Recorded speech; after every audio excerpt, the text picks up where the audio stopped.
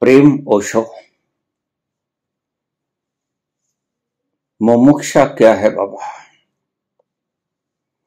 आप अक्सर अपने प्रवचनों में मुमुक्षा शब्द का प्रयोग करते हैं। कृपया आंतरिक गहराइयों से समझाने का कष्ट करें। माँ योग तृप्ति।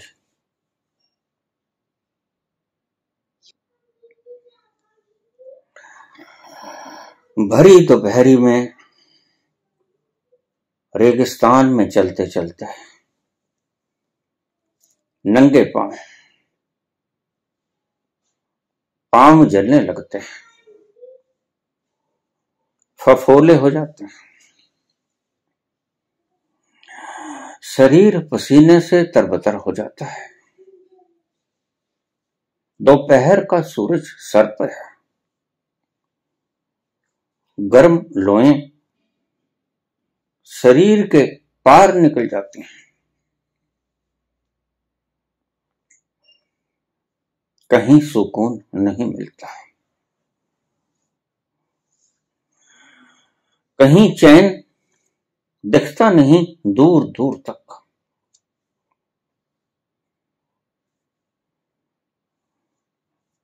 ऐसे में जो इच्छा उठती है आंतरिक प्राणों की गहराइयों से। उसे मुमुक्षा कहते हैं।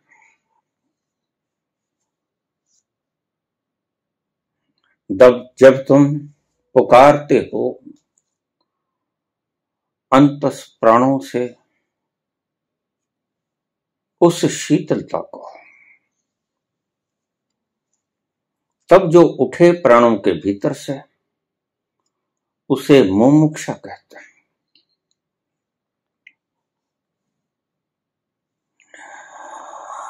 मुमुक्षा शब्द बहुत आसान है। मुमुक्षत्व बहुत मुश्किल है।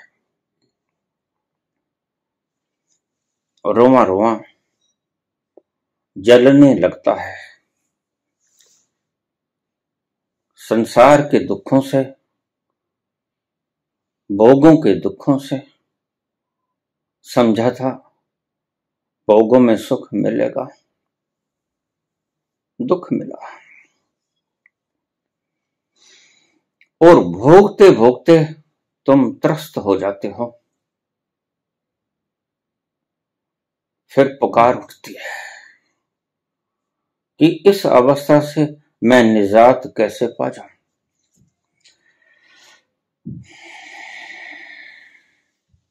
उस पुकार को मुमुक्षा कहते हैं। और ध्यान रखना, बिना जले पुकार नहीं उठेगा। संसार की आग में जलना ज़रूरी है।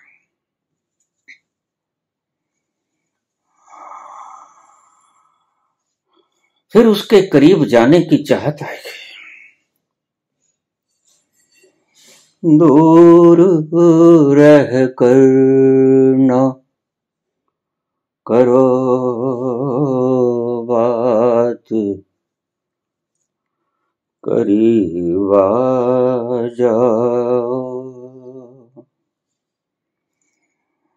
दूर रह कर ना करो बात। करीब जाओ याद रह जाएगी ये रात करीब जाओ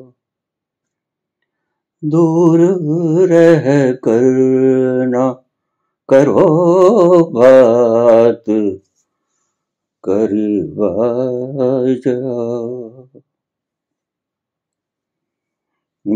जब ऐसी पुकार हृदय के भीतर से उठनी शुरू हो जाए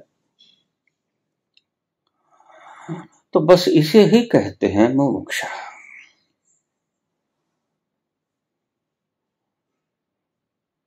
बिना जले जले, बिना राग रेगिस्तान में नंगे पाँव चले चले। पाँव में फफोले नहीं पड़े। दोपहर के सूरज ने तुम्हें जलाया नहीं। तो ये पुकार न उठेगा तन बदन पसीने से भीगा। गर्म लोगों ने शरीर को बेता नहीं। तो ये पुकार न उठेगा। जब ये पुकार उठे कि करीब आ जाओ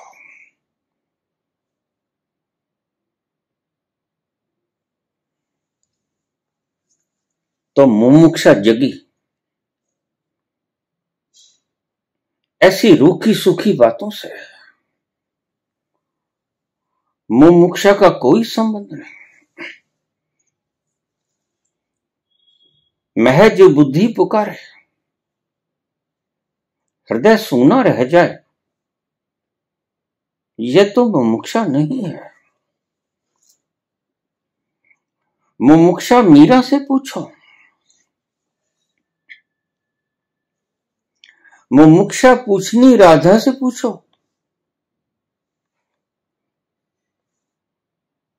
जो जल गई है, जो इस आग में भस्म हो गए और प्रभु का एक अवलोकन चाहती है, और पूरे प्राण पुकार लेते हैं कि एक बार उसकी झलक मिल जाए। तो परम शांति पर जाए। एक मुदत से तमन्ना थी तुम्हें छूने की। एक मुदत से तमन्ना थी तुम्हें छूने के। आज बस में नहीं जज्बात करीब जाओ। आज बस में नहीं जज्बात करीब जाओ। दूर रह कर ना करो बात करीब जाओ। एक मुद्दत से तमन्ना थी तुम्हें छूने की इन शब्दों को सचखंड तक ले जाना।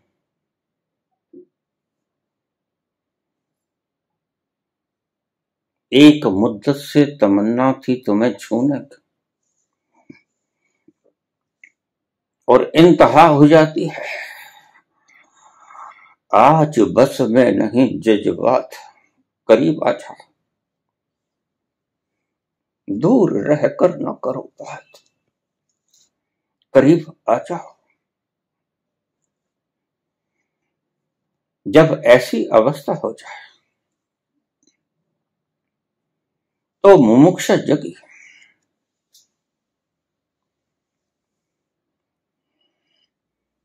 यह रूखी सुखी बुद्धि की पुकार से मुमुक्षा जन्मदिन।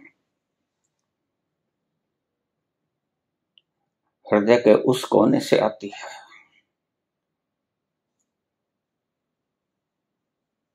जहाँ कांटे चुभे होते हैं। हृदय का रुआ रुआ बिंद जाता है इन कांटों से। कहीं फूल दिखाई नहीं पड़ता।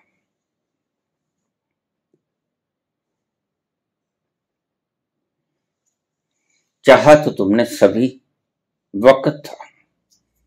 कौन नहीं चाहता? प्रत्येक व्यक्ति सुख की चाहत में ही। दिन भर रात यत्नशील रहता है। लेकिन दो बातों का होना ज़रूरी है। एक तो वो रेगिस्तान की दोपहरी तुम्हें जला दे भस्म करते। और फिर वो याद, उसकी ठंडी फुहार की याद, तुम्हारी आँखों को अश्रुओं से भर दे। तो समझो मोमुक्षा का जन्म होगा।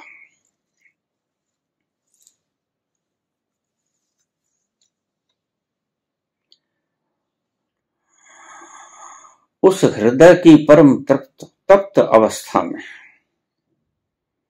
तुम्हें संत की शीतल वाणी याद आती है।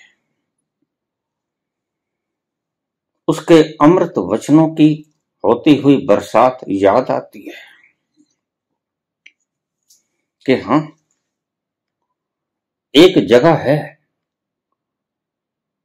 जहाँ वो ठंडक वहाँ शीतलता बरस रही है। सर्द झोंकों से भड़कते हैं बदन में शोले।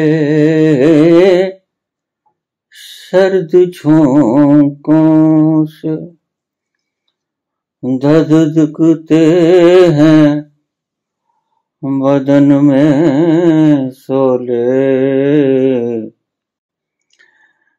जान ले लेगी ये बरसात, करीब आ जाओ जान ले लेगी ये बरसात करीब जा दूर रह कर ना करो बात करीब जाओ संतों की वाणी के बरसते हुए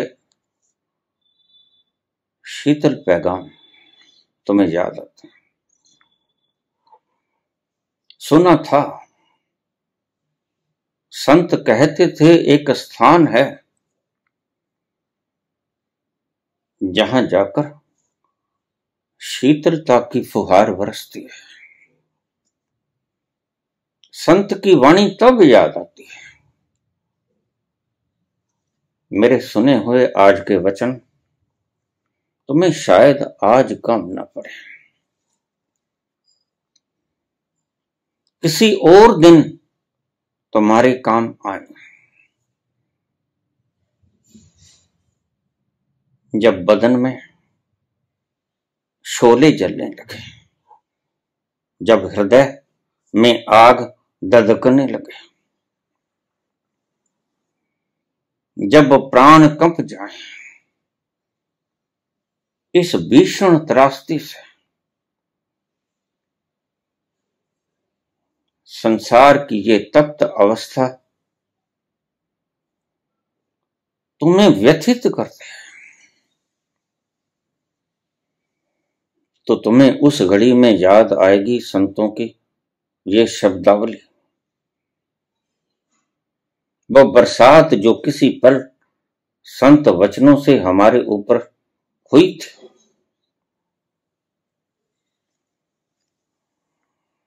और उस बरसात की याद करके इस रेगिस्तान के तप्त वातावरण में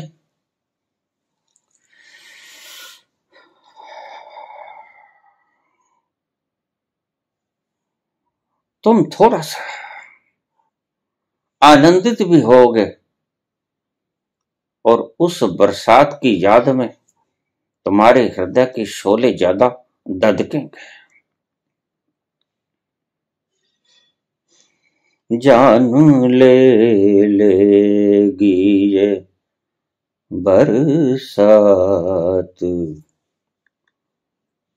करीब जा। जान ले लेगी ये बरसात करीब जा। दूर रहकर न करो बात। करीब आ जाओ।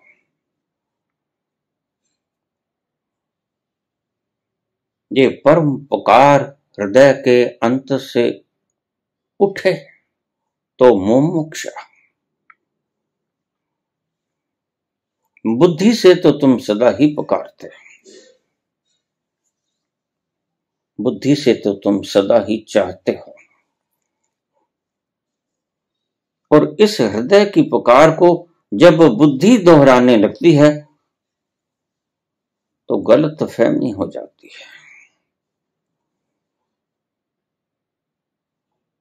फिर तुम उसी पुकार के कारण पदार्थों को इकट्ठा करते हो, गद्दियों को इकट्ठा करते हो। प्रेमी प्रेमिकाओं को इकट्ठा करते हो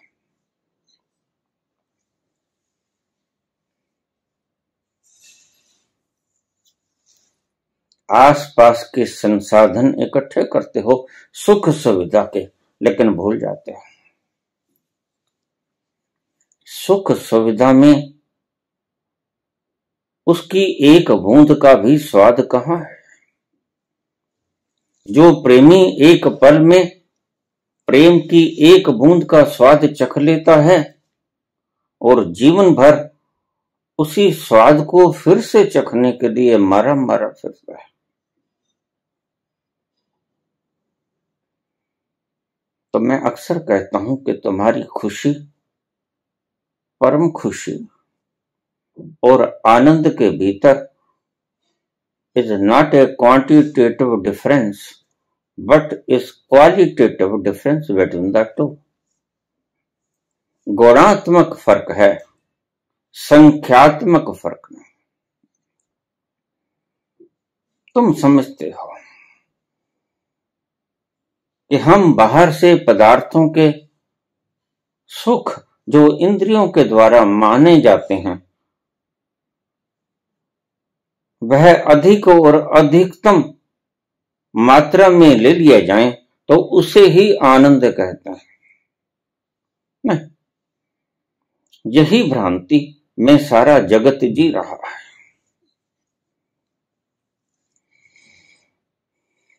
संत बताता है कि एक तल और भी है, जहाँ उसकी बरसात होती है, जिसकी इंतज़ार में तुमने कितने जन्म समाप्त कर दिए तुम्हारा सुखों का असीम हो जाना आनंद नहीं है। गुणात्मक फ़र्क है, सुख और आनंद में जिन्होंने परम सुख पाया परम आराम पाया। इस भ्रांति में मत रहना कि मैंने आनंद पा लिया। जिसने आनंद पाया, वह सभी सुखों को भूल गया। ये त्याग होता है, किया नहीं जाता।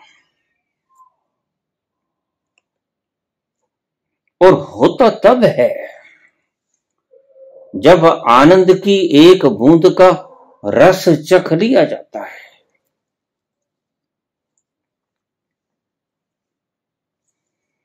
अगर तुमने आनंद की एक बूंद का रस नहीं चखा तो फिर तुम संसार की परम खुशी को ही आनंद माने बैठे रहोगे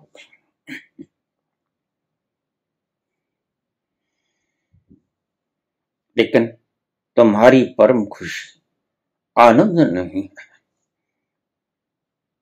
आनंद कहीं और है। बाहर के पदार्थों में नहीं है। बाहर की किसी वस्तु में, पदवी में, मान सम्मान में नहीं है। उससे बहुत दूर, जहाँ खुशी भी समाप्त हो जाती दुख भी समाप्त हो जाता है। सुख और दुख तो एक ही सिक्के के दो पहलू हैं, पर इनसे पार जो आता है उसे कहते हैं आनंद।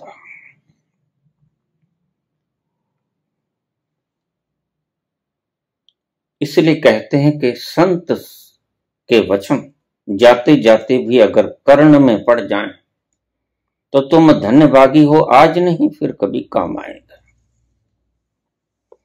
तो ये काम आते हैं उस रेगिस्तान की भूमि के ऊपर चलते चलते जब तुम्हारे पाओ में छाले पड़ जाते हैं जख्म हो जाते हैं। ऊपर से रेगिस्तान का दोपहरी का तप्त सूरज तुम्हें भिगो देता है। पसीने से तरबतर नंगे पाँव। फिर तुम्हें संत के ये शब्द याद आते हैं कि कोई एक मुकाम है।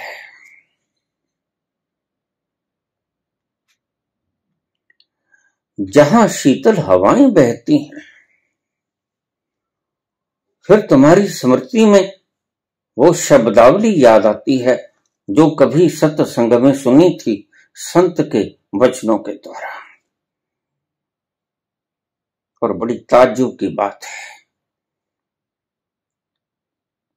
कि उस दोपहरी में संत के वचन तुम्हें और जला देते हैं। जान ले लेगी ये बरसात। करीब जा।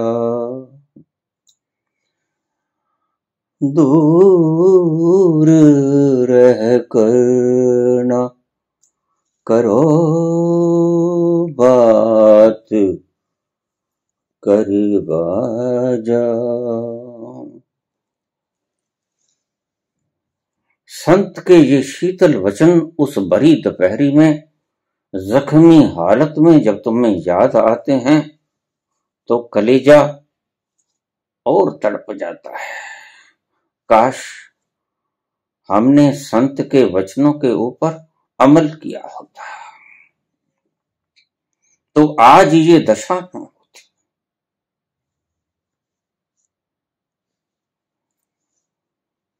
एक स्थान ऐसा है। तुम्हारे ही भीतर। जहाँ ये शीतलता की फुहार बरसती है।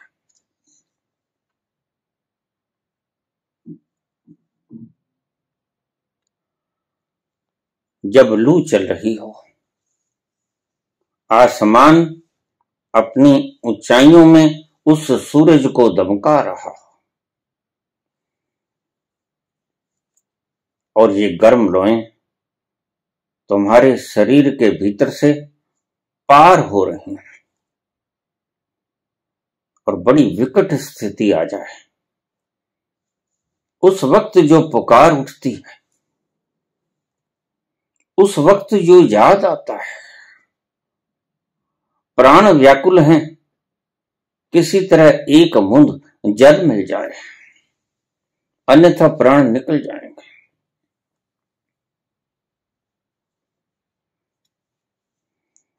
ऐसी अवस्था में जो पुकार उठती है जल की, उसे मुमुक्षा कहते हैं।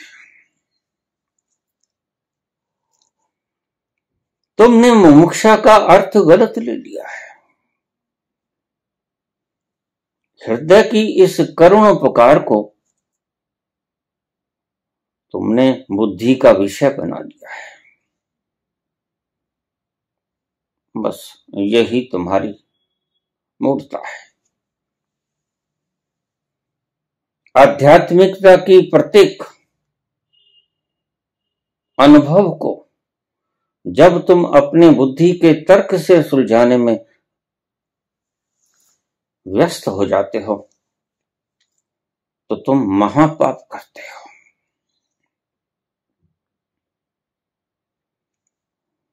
हृदय की पुकार को व्याख्यायित नहीं किया जा सकता। तुम तो महज एक सुख और दुख की परिभाषा तक नहीं कर सकते। तुम तो दर्द तक की परिभाषा नहीं दे सकते। तो उस परम सुख को, परमात्मा तक को परिभाषित करना और वो भी शब्दों में, लिपियों में और तुम्हारी ही बनाई हुई लिपियों में यह तर्क संगत नहीं। यह सत्य नहीं। कोई भावना तुम व्यक्त नहीं कर सकते शब्दों में। कह सकते हो, मैं बहुत खुश हूँ। मैं बहुत दुखी हूँ। मुझे बहुत दर्द हो रहा है। लेकिन जब डॉक्टर कहे कि अच्छा दर्द को निकाल के दिखाओ कि कौन सा दर्द हो रहा है, और तुम भावना को दिखाने में असमर्थ हो जाते हो। तुम इतने कमज़ोर हो कि हृदय की भावनाओं को दिखा नहीं सकते। व्यक्त भी कहाँ कर सकते हो? शाब्दिक रूप से व्यक्त करना अभिव्यक्ति कहाँ है? यह तो एक समझाने का साधन मात्र है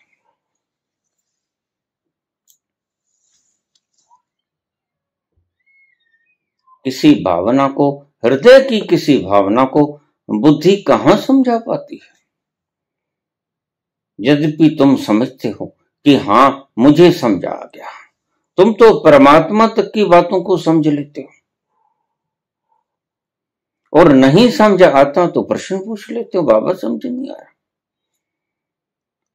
और फिर बोला जाता है तो तुम कहते हो कि हाँ, मैं समझ गया। क्या खाक समझ गए? बाबा तो अच्छी तरह जानते हैं कि जो समझाया नहीं जा सकता, जो बोला नहीं जा सकता, उसको ये क्या खाक समझ गया? बाबा तो बोलकर पछताते हैं कि जो बोलना चाहता था, बोला ना, नहीं गया। अभी व्यक्त किया ही नहीं गया।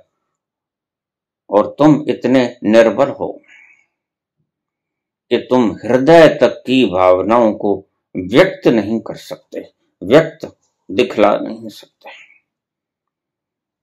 तुम उदास हो। उस उदासी को दिखलाओ बाहर निकाल के। ये देखो उदासी, ये रही। ये दर्द रहा। ये सुकून रहा। कुछ भी तो तुम नहीं दिखला सकते। मात्र शब्दों में व्यक्त कर सकते हो, और सदा ही तुमने वो किया है।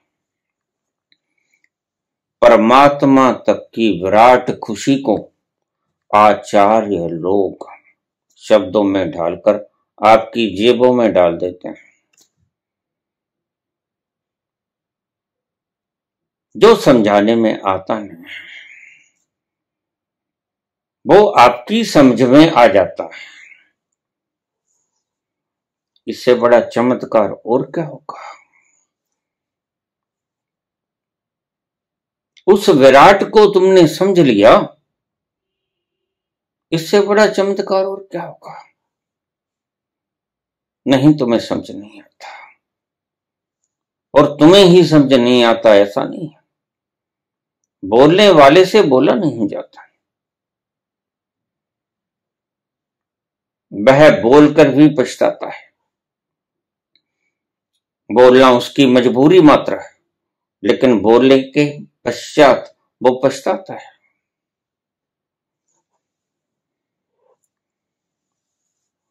संसार की आग से जब तुम त्रस्त हो जाओ, अभी तो संसार की आग तुम्हें लगती ही नहीं। अभी तो संसार तुम्हें फूलों का बिछोना लगता है। तो फिर इस फूलों के बिछोने को इकट्ठा करो। कोई नहीं कहता, अध कच्चे पक्के मत उठ जाना। संसार के इन फूलों के बिछोने के ऊपर सोकर देख ही लेना, आराम करके देख लेना। लेकिन अगर कहीं कोई ऐसी दशा आ जाए या कोई दूर से पुकार रहा हो। और इधर तुम संसार के सत्यता से बेचैन हो गए हो, त्रसित हो गए हो, तुम्हारा हृदय सूलों से चुभ गया है, सारा शरीर जख्मी हो गया है, रोम रोम जख्मी हो गया है, और दूर से कोई पुकारता है। फिर तुम उस आवाज़ को पकड़ते हो। इससे पहले तो तुम बाज़ार के शोरगुल में उलझे रहते हो। वह पुकार रहा है। हर पल, लेकिन बाज़ार के शोरगुल में उलझे उलझे तुम्हें उसकी महीन पुकार सुनती नहीं।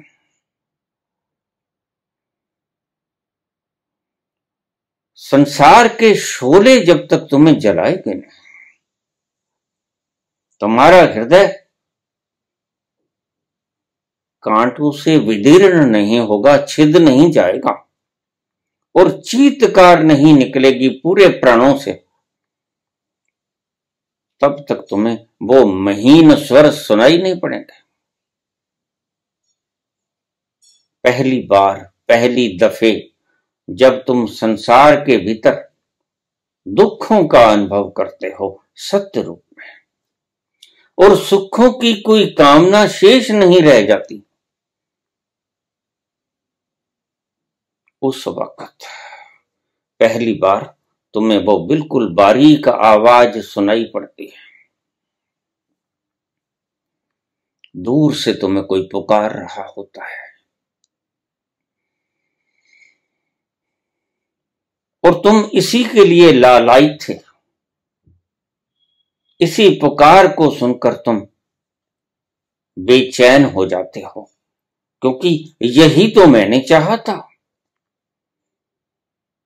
फिर ये भीतर से आवाज़ उठती है, दूर रह कर न करो बात करीब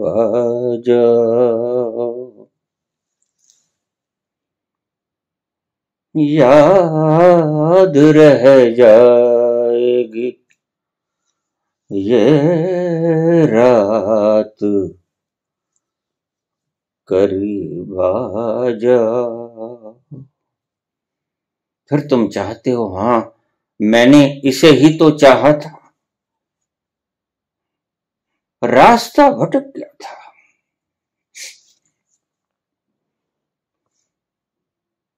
और और दरवाजे खटखटा रहा था। क्योंकि अभी आशा बाकी थी।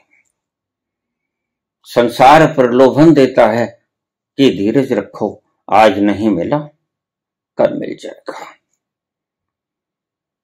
और ऊपर से तुम्हारे मोटिवेशनल स्पीकर तुम्हें समझाते हैं कि चिंता मत करो।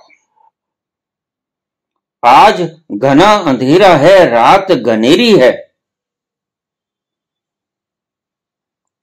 तो रुक जाओ। सुबह आएगी, अवश्य आएगी, लेकिन नहीं आएगी।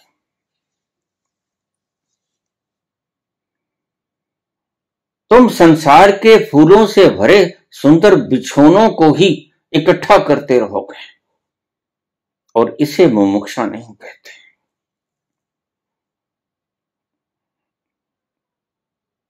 इन भोगों से दुखित होकर, इन भोगों से व्यथित होकर ही जनक पूछते हैं अष्टावक्र से। इन भोगों से व्यथित होकर, इन भोगों से त्रसित होकर ही कपिल वस्तु का सिंहासन छोड़कर भाग जाते हैं गौतम बुद्ध।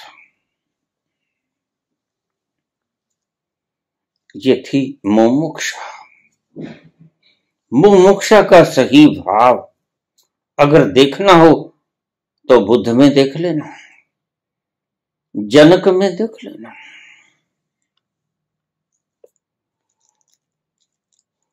अन्यथा,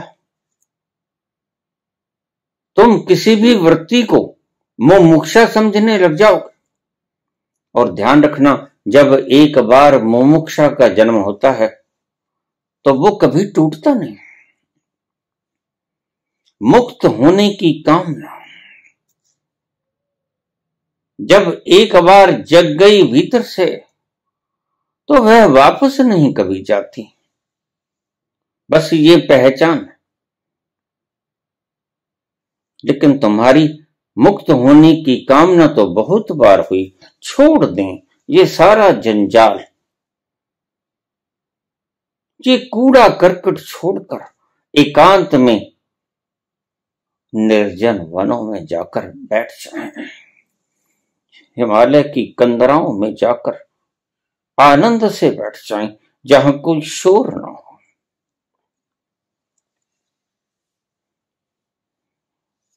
लेकिन कुछ ही देर बाद तुम्हारे ये विचार जैसे बादल आसमान पर आए और चले गए, ऐसा ही साबित होता है। नहीं, ये मुमुक्षा नहीं यह तो सिर्फ़ परिस्थितियों का अवलोकन है। परिस्थितियाँ घोर अंधेरी आ गई तो आप उससे घबरा गए थोड़ी देर के लिए।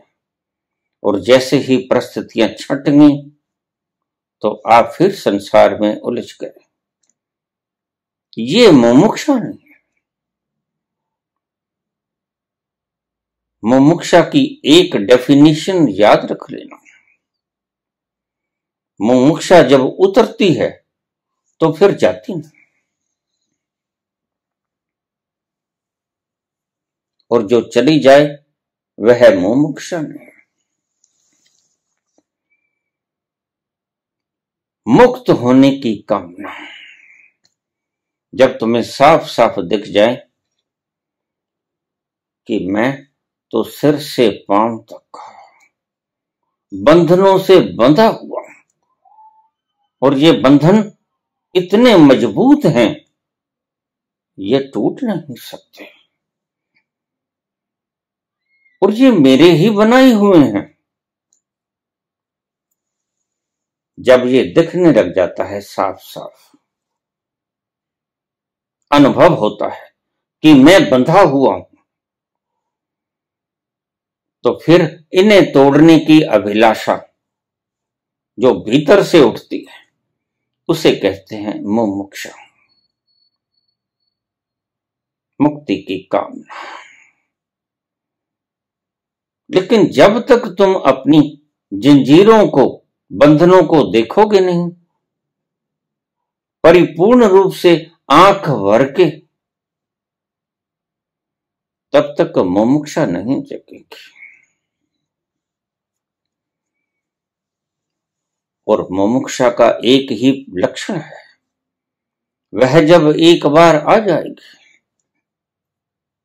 तो फिर संसार का कोई भी प्रलोभन तुम्हें वापस नहीं बुला पाएगा। तुम घर पे रहो, हिमालय की कंदराओं में रहो, लेकिन तुम्हारा हृदय अगर मुमुक्षत्व को प्राप्त हो गया तो ध्यान रखना तुम्हारे लिए घर भी हिमालय है।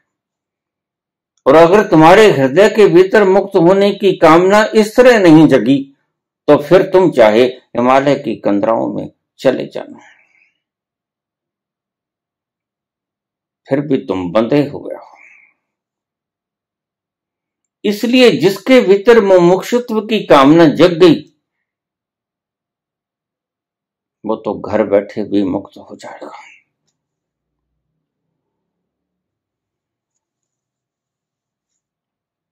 और जिसके भीतर मुमुक्षुत्व की कामना नहीं जगी, सिर्फ़ संसार ने उसको तड़पाया, दुख दिया, संसार उसे बंधन की तरह लगा, वह फिर चाहे हिमालय की गोद में भी क्यों ना बैठ जाए। मुक्त नहीं हो पाएगा। बस यही फ़र्क है असली मोमुक्षा में और नकली मोमुक्षा में। असली मोमुक्षा एक बार जन्म लेती है, फिर कभी जाती नहीं।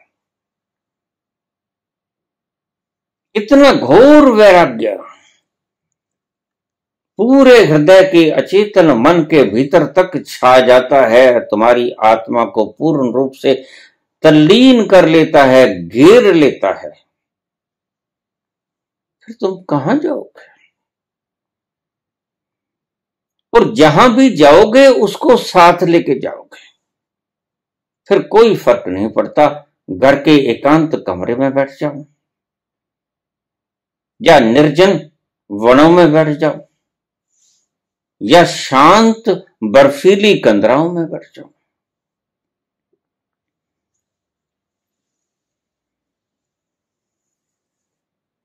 मुक्त होने की कामना पूर्ण हृदय से मुक्त होने की कामना तब उठेगी जब संसार ने आपको कांटे ही कांटे दिए हों और वो कांटे आपकी हृदय की गहराई तक चुभ गए हों।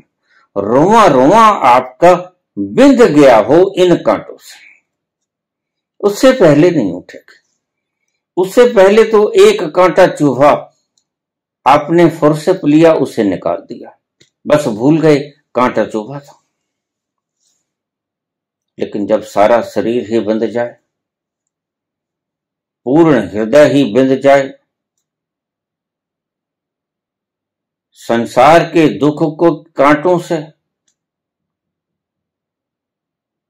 तो अष्टवक्र कहते हैं, जनक को। भोगों से दुख पैदा होता है, राजन। और दुख से वैराग्य उत्पन्न होता है राजन। और वैराग्य से मुमुक्षा का जन्म होता है, हे राजन। और ये क्रम बार चलता है। सीधा सीधा तुम मुमुक्षा की सोच भी नहीं सकते, क्योंकि ये आंतरिक प्राणों से उठी हुई भावना है। बुद्धि के तलों से उठी हुई भावना तो क्षणिक होती है। क्षण भंगुर होती है। अब उठी, दो घंटे बाद चली गई। पति पत्नी में झगड़ा हो गया था। उससे पहले बड़े उपाय किए थे। बोलना बंद कर दिया। पति ने कहा, मैं तुमसे नहीं बोलूँगा। और पति ने सुबह जाना था। तीन बजे की ट्रेन सुबह सुबह पकड़नी थी। तो कागज़ के ऊपर लिख दिया कि सुबह मुझे तीन बजे से पहले जगा देना मैंने जाना है दफ्तर के काम से। अब बोलना तो था नहीं पत्नी ने वो पर्ची पढ़ी। सुबह तीन बजे से पहले जगा देना तैयार भी होना है गाड़ी पकड़ने। तो उसने लिख दिया, तीन बजे से पहले उसने दो बजे लिख दिया कि उठ जाओ, दो बज गए। और वहीं रख दिया। अब बोलना तो है नहीं। तो जब सुबह उठा, सात बज गए। बड़ा झुंझलाया तुमने मुझे जगाया। तो पत्नी ने इशारा किया। पर्ची की तरफ़, पर्ची के दूसरी ओर लगा था दो बज गए हैं, उठ जाओ। बोलना तो है नहीं। झगड़ा ज़्यादा हो गया। झगड़ू राम का अपनी स्त्री से। तो कहा, बस। अब और नहीं। इससे अच्छा तो मरना अच्छा। अब ज़िंदा नहीं रहूँगा, बिल्कुल नहीं रहूँगा, चाहे कुछ भी हो जाए। ऐसे कर, तू चार परोठे बनाते। और बीच में सब्ज़ी रख देना, थोड़ी सी अचार की फाक रख देना। तो पत्नी ने बोला, जब मरने ही चले हो तो चार परोठे और सब्ज़ी और अचार का क्या करना है? तो पति बोला, मरना है, लेकिन भूखे थोड़ा मरना है। खा पी के मरूँगा, कौन जाने? हिंदुस्तान की रेलगाड़ियाँ ऐसा ही हैं। चार घंटे लेट हो जाए। तो खा पी के तो मरूं, भूखा तो न मरूं। बस ऐसी ही तुम्हारी मुमुक्षा है। रूखी सूखी रस विहीन उसमें रस नहीं और जिस मुमुक्षा में रस नहीं है रस विहीन मुमुक्षा सिर्फ़ खोपड़ी की खुजलाहट हुआ करती है। तुम्हारी मुमुक्षा भी इस तरह खोपड़ी की खुजलाहट है। और तुम्हारे आचार्य तुम्हें खोपड़ी से ही समझाते हैं।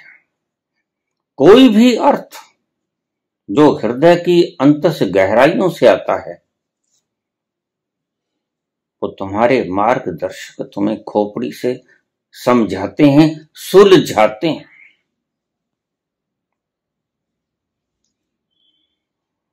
यही तुम्हारी दुर्भाग्य है।